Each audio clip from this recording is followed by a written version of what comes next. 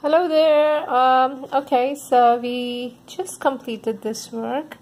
Uh, the part one of the video is already there and this is the finished product if you can see um, let me just give it in better lighting um, it's shiny it's nice and it has the shine of a brass or you can say copper um, artwork.